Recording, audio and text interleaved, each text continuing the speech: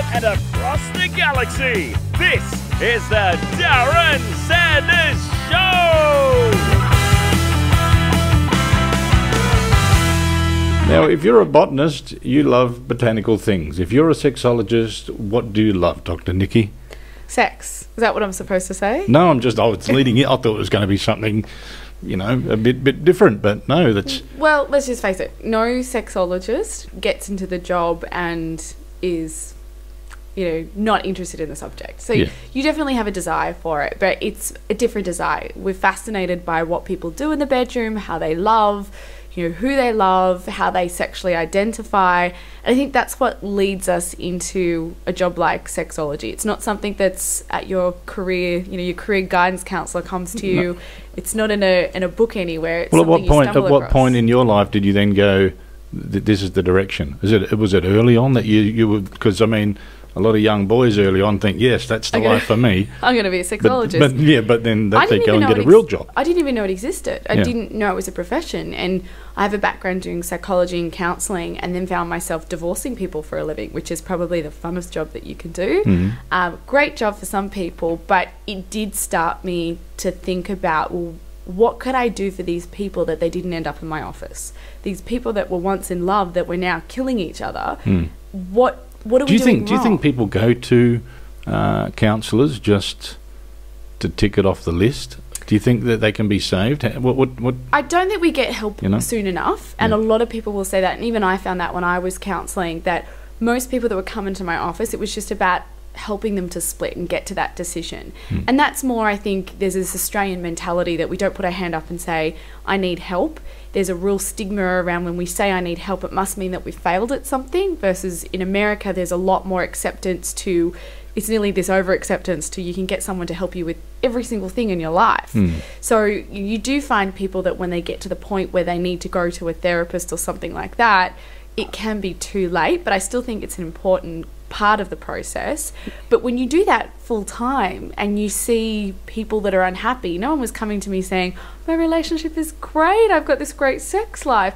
They're coming to me saying, they would you if they were wanted to show off and go in Yeah. there. Yeah. Can you tell us what we're doing wrong? Yeah. You Can you- We'll, we'll- show you. I'll show you a Uh, tape, yeah, which is another yeah. myth of the job. People Is it? think that that people send me sex tapes and I can give them feedback. Sit there and, and- and I'm like, You're, no, like the you're like the no." movie show. You're like David and Margaret watching. yeah, uh, I'm like, no, that's not, a, you know. Yeah. But if it made me money, maybe there's an option Mm, for, for yeah. branching out of my career. Look, you, you said about the uh, the American way of life with that. You have spent a fair bit of time in the states. Uh, one, getting your uh, doctorate, Doctorate, of yeah. of sexology.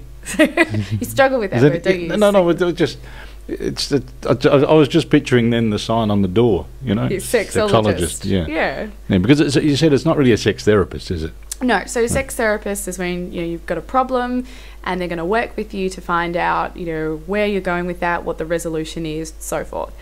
My job is a sex educator. So a lot of people that I did study with either went down the path of sex therapy, sex research, or sex education. I chose to do sex education. So you watch a lot of sex. I have. In the, Yeah. it, funny you say that because how we learned about sex was to be shown sexually explicit media for educational purposes. So you kind of For around- educational purposes. Well, it's different Yeah, to Paul. yeah. You know, it's not. Is it, is it different? It's, it's what? It's longer. It's longer than a three-minute downloadable clip. well, a lot of it was filmed in the 60s, 70s, and 80s. So Yeah. the stuff that we were exposed to was just kind of really out there. And a lot of students that used to go to the school would actually volunteer themselves to be part of these films. So you witness all different types of sex. And the idea is to kind of show you that there's no such thing as normal and look at how different people have sex. And you kind of can't learn that just from a textbook. You do need to see it, you need to talk to people. We were encouraged to go to bondage clubs and sex clubs and Did you did you have to uh, or did you participate or you just go with your with your notebook and and and, and you held it. Well, there was down bits and pieces? there was night one night where a group of 11 of us decided to have a look at a sex club. Right. because we were encouraged. There's no pressure to, you know, get involved in things because obviously that's a personal barrier. But they do want you to have contact. So talking to people, seeing things, seeing what it's all about. That's part of I think the idea that when you study at a place like San Francisco and you're studying in a place that's quite controversial, hmm. you, you get involved in that. It's not a matter of sitting and, yes, you've got to read a lot of books, but you've got access to people who live these very different lives to maybe what you, you know, you've known before. So 11 of us went off to a, um, a sex club, and it was probably the most terrifying night of my life. I was just, I was so scared at that stage that someone would come up and try and grab me, and you'd find yourself in these dark areas, and you'd see people making their way over to you, and I'm thinking, oh my god, it was like being preyed on. And then someone from the group who you know was more experienced in this world pulled me aside and said, Stand- something- stand back, I'm Stand going back. in." Go away from Nikki. Yeah. Um, there's something called consent and boundaries. Oh. And they said to me, if someone comes up to you, they will ask you whether they can touch you or whether you'd like to participate, and you have a right to say no. And that was something that was new to me because I hadn't been part of that world, and all of a sudden I felt safe, and I learned about consent and boundaries because I didn't want to be touched, and Yeah. I had a right to say it. Fast forward an hour, and I found myself at, say, a vanilla club, like a normal nightclub, and this guy comes up and grabs me on the boob, and I was so mortified because I was Hmm. like, I haven't given you permission, I haven't even spoken to you. I was safer in the sex club Yeah. than I was at a normal bar in downtown San Francisco. On one of your trips, I think, to the States, didn't you? You observed a, a porno being made. I've done it a few times Yeah. actually because I Oh, you're friends with all the porn stars now, though, I am you? now, which Yeah. is is a lot of fun because I'm that person that people want comments from. You know, they say to me, "Can you tell us what you know? What are the impacts of porn on relationships? Hmm. And do children learn from porn? And it's you know the worst thing in the world." I thought I did. I learned from porn. I knew how to. I, I, I learned how to um, clean a pool. And uh, And what a pizza delivery boy really does. That's old porn. the Domino's, what the Domino's boy really gets up to. Yeah, Even if Pe- I mean it's Uber Eats now anyway. It's Is it? not Uh, Domino's, so the Uber Eats delivery person. Much cleaner cars. Exactly. Yeah. Um, but yeah, I, I wanted to be the type of person that if I'm going to comment on something, I've really got experience with it and I know something, I've investigated it. So I had some friends that run a very big porn company and I said, I want to go on set. I want to see firsthand. So I was fortunate enough, probably about four years ago now, to go on a set with um, James Deen and Annika Albrite, who were at that time, you know, really two big names in the industry. Oh, I never, never heard of them. Never heard them, never Never- seen them, no, don't know no. what they look Yeah. like, may have their DVDs. Um, but it was fascinating because I got to speak to the directors and the makeup artists and just to watch how it was all put together and then really be able to comment on the subject. Yeah. So when people say to me, okay, I hear that porn is fake sex, how is it fake sex? I can say exactly what goes on on a whole day, Hmm. which really comes down to five to seven minutes on a on a film. do they? Here's one. Do they? Do they shoot it backwards? Like, do they shoot the last scene first? No, so then everyone does it you- differently, yeah. but they they shoot the you know the last, but I mean the last, the money shot. the money shot. Yeah, no, yeah. no, they, no, thought- they yeah. shoot the money shot Right, at the end. okay. But what they do is there's like little scenes in one small scene. There's little scenes. Yeah. So they stop and start and stop and start. Now the interesting thing that I never thought of is that when you look at a female porn star who's covered in very heavy makeup, Hmm. when you're stopping and starting and stopping and starting, you've got to keep touching her up. Oh. So every few minutes, it was like, well, back to hair and makeup because when you're kissing and you're making out, things can start Yeah. to slide around. Then you get into the more. Do they still have fluffers? Is that still part of the industry no, or no, not? not the sets that I've been on. I don't No. really think. I don't really think they need it. I, I think, think. I think that's. I don't know if that was true. That was always a thing. I'm sure. I'm sure it many used many to. years ago. I'm that- sure it used to happen, but. no, I mean, in this, I was fortunate actually in this particular set that there was a lot of chemist, like real chemistry between the actors, which isn't necessarily always there. You know, Mm. it's not always that they're really into each other. These two were. So, because these were considered very you know, professional actors and very successful in their industry, the director said to me, when we get to the really nitty gritty part, you know, we've kind of done the kissing and the fluffy stuff and the all that, you know, even the corny stuff. When we get to that, I can let them go because it's all about angle. So, a good porn star will know what angle to put their body in so the camera can come in. Yeah, I've made I've made some homemade porn and it's not. I wonder what you're going to say. it's not. No. but that's it. Is, is they under, they understand the positions yeah. because it's all about a visual angle. So he said to me, "Well, if they're really good, we'll be able to keep going." They never show them. They never in." show them getting into that position. Though, do No, they? You know, like, it's because very as you're trying, like the continuity. Whoever does continuity on these films, they, they need they have a lot to answer for because all of a sudden they're in that position. Go, nah, show me, show me how you got into that position because that's That's magical. and all of a sudden they're doing acts that really need warming up that Yeah. you know we don't see a lot of the background and that's hmm. part of it but i do remember in this particular set when we before the money shot there's a, there's a break. Yeah. and i was sitting off the sidelines and they said to me they're, they're talking they're orchestrating the money shot. And they said nikki do you want to have a say? And I was like, yeah, I get to direct a porno. So we were talking about mm. what particular position and how you would do it, and and then you actually go back again and you take photos. You try and remember the positions that you're in, and you take photos. Ah. And then sometimes they go back again and they do it from a wide angle, so you don't see the specific, you know, ins and outs. So Yeah. if they're doing an R and X Oh, rated, yeah, so yeah. more softer porn, then some DVDs have two of those. So it's a hmm. it's a really exhausting, lengthy process. Imagine, imagine being in it. Yeah, exact. Well, as someone said to me, they're they're sexual athletes. Hmm. Well, do you think porn has an effect on people then that uh, is, is unrealistic? Like, like Completely, You because know- that's not realistic sex. you know, because if if you want to try and act like, and, and I've seen people, at, you know, when you go out at night, try and act like they're they're all porn porn, stars. stars, and you know, and you go, no, and those no, are the guys you know are just duds in bed. If a guy's acting like a porn star when he's out and trying to pick you up, it's like, what are you hiding? Like, Yeah. what's going on underneath the surface? Well, there's a tip to know, isn't yeah, it? hey? don't, act, like, a porn, star. Uh, but I think the whole porn world, it's very fascinating because it is fake sex, but we use it as role modeling. So we look at that and think that's what we should be doing in our own lives. Now, I interviewed last year these two porn stars who they're married and they're very well known in the industry. And they, I said to them, "What's the difference between what you do on set and what you do at home?" And they said, "Well, if you watched what we would have, how we have sex at home, you'd see it as quite boring because it's about intimacy and it's very loving." And you kind of scratch your head and go, "Well, the rest of the world is trying to emulate the porn that you have on set, hmm. and the porn that you choose to have is sorry, the sex that you choose to have is completely different to what we're all all trying to do." That something is fake. So it's that irony that we're all aiming for something that maybe isn't what's satisfying in the first place. Too many kids already? Don't want any more and can't be stuffed using a condom? Then get yourself Pharma City's new home vasectomy DIY kit. It's the no fuss, easy operation you can do in the comfort of your own home using the tools and kitchen accessories you have lying around the house.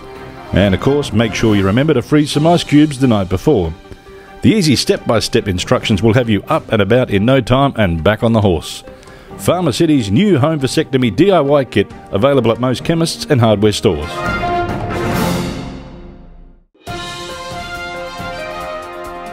And some breaking news from the un Australian and Emma Malik. Thanks, Darren. For year 1995 apologises for Alanis Morissette. The dick pic thing guys like to do now, don't don't they? Well, Or not? I, I st- look, the dick pic is a lie. I mean that, that, Yeah. that seems to be that seems to be the biggest joke of that is that women must just get together and compare them and go, can you com- believe this guy? And- Completely. I've Yeah. never had one of my friends call me up and say, "Oh my god, I just met the most amazing guy on Tinder. You should see a photo of his dick." Yeah. You- that's not a sentence that's put together. It's more like It'd be different if it if it had some glasses on it and a moustache underneath. I'd at least then give them, you know, Yeah, quotes for, go, "Oh, that- for funny," the yeah. comedy side of things. But yeah. women are women are not turned on by someone picking them up with a dick pic, Mm. and it amazes me why men still do it. And I think maybe they're men that like the shock value. That must be the type of people that think, well, someone's going to get shocked when I send them this. But if you're a guy out there that's actually trying to pick somebody up with a dick pic, you think you're better off It's pic- not a- sending a picture of your wallet, aren't you? Oh, that's getting a bit superficial. Oh, well, like the for some, for some, yeah. yeah. for some Yeah. women. I mean, Yeah. listen, if we're in the gay world, then a dick pic is how you pick someone up. Right. You know, that's technically your profile photo, and that's what people want to see. When it comes to women, I think photos like that, once you've started that flirtatious banter, once you've engaged in, you know, maybe you've hooked up once or twice, Do you- have you done a blog about which photos you should use on watch dick pics. No, no, no, no, not those, but but regular photos because you know Yeah, I've, I've been on I've been on people about the internet dating and stuff, and you see some people, and you.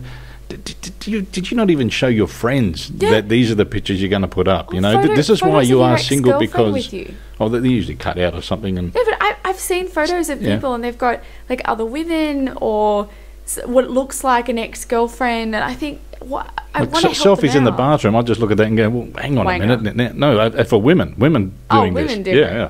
You know, Right. and, and you look at, well, no wonder you're here. You're by yourself taking photos of yourself in a bathroom. if that's the best photo you've got, You can't say to your friend, Yeah. "Hey, can you take a decent photo of Yeah. me sitting in the couch?" yeah, yeah. Because Yeah. then they'll be, but somebody will look at that and go, hang on, he's already got a friend. Somebody took that photo for him. Maybe he's got a girlfriend that's taking his photo. Yeah. But I think we're down to something now one tenth of a second in terms of our attention span. So a photo is going to weigh a lot these days. When you're hmm. swiping through, people will go, "Do I like?"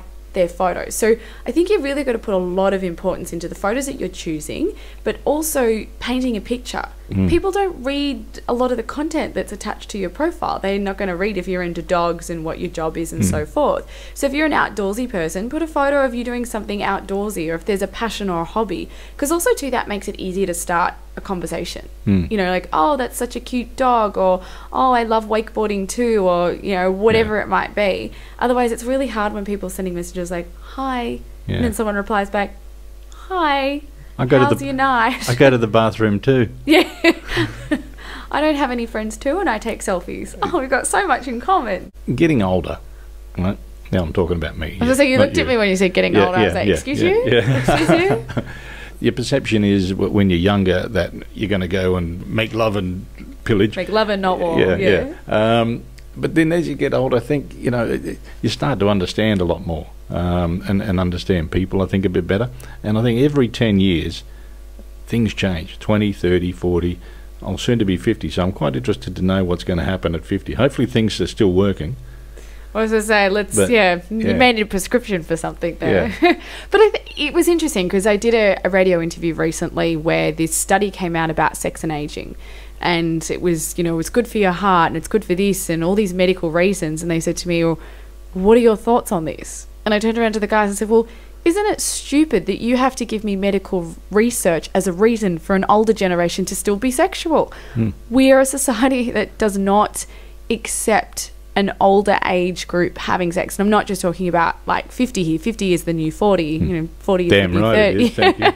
but when we look at an older generation, people struggle or people think, oh, well, you've you've had a sex life now, so No, I think- I don't worry if is- things don't work I think what well. it is is you just don't want to picture them. That's Well, that's what is. someone said. You don't Yeah. want to picture your parents having Yeah, sex. So that's generally where your mind goes. But Mm. I think that as we get older, yes, certain things with our body do start to change and can become a bit of a struggle. But our mind becomes more knowledgeable. And as we get older, we understand more about our bodies and we understand more about what's fulfilling with sex, how to connect with someone. You know, one of the, the questions that we can never answer is what is good sex? And if you talk to an 18 year old guy, he'll tell you it's, you know, multiple orgasms and longer, harder, faster. A lot of people, as they go through life, start to go, well, I can do that, you know, porno sex and still be really unfulfilled. And they start to understand what it's like to connect and to bond and more of the body to have fun with and other pleasure points. That's something you only get with age and experience. Yeah, That's well, I see, you've got to 18, see 18, is- is, 18 is what is good sex and 80 is uh, what is sex. Yeah. Yeah. I think I remember what sex is. Okay. Now, what uh, what brought you then to decide to write? Is, is, it, is, it, is it? It's not really a novel, is it? It's a, it's a guide. It's, it's an advice book. It's an advice it fits book. very nicely into the self help category. Does it? And it is Um, called single but dating. So, what what does single but dating mean? single but dating for me really stemmed out of my own personal journey. You know, I came out of a long term relationship. I was not looking for commitment. I was new to working out how to date. And people would look at me with this look of pity when I said I was single. Like, oh, are you in a relationship at the moment? I'd go, no. And they'd want to quickly set me up with someone, or it was like, quick, there was something wrong with me because I was single. So I wanted to come up with a new term, first of all, that was a lot more positive. Like, let's look at something that gets rid of that pity and gets rid of that shame, but also recognizing that this is where a lot of people are in life right now. To be single is, you know, especially if you have been in a long term relationship, it is the most freeing, freeing thing to then see what's out there. Yeah, For a guy, though, but for a woman, I mean, it's still freeing for a woman, but there still is, is a it because lot all of your friends have got all your friends are still dating and they've all got boyfriends and they're like, oh, I think we have an poor issue Nikki with women having sex Yeah. outside of a monogamous relationship. Even when you look at, and this was something I explored in the book, even when you look at the health guidelines for STI testing for women and, and well, let's look at just women here for the minute. Yeah. Everything says before a new partner. Nothing will say what happens if a heterosexual woman is having multiple partners.